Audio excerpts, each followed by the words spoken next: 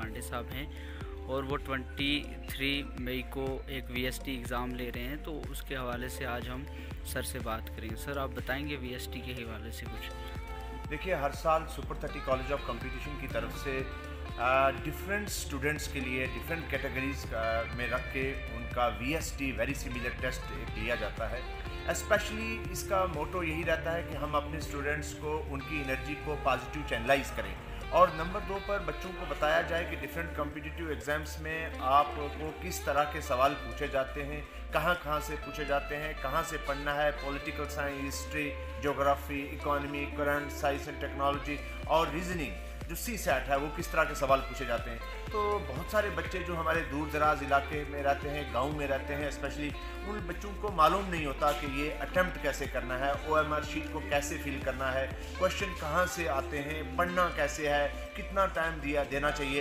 Examination hall में आपको entry कैसे करना है रोल नंबर स्लिप के साथ साथ आप एग्जामिनेशन हॉल में क्या चीज़ लेके जा सकते हो। तो हम बिल्कुल डिटो वैसा ही एक एटमॉस्फेयर क्रिएट करते हैं। बहुत सारे सेंटर बनते हैं पूरे डिस्ट्रिक्ट में और डिस्ट्रिक्ट से बाहर भी, जहाँ जहाँ हमें बच्चों का रिस्पांस मिलता है।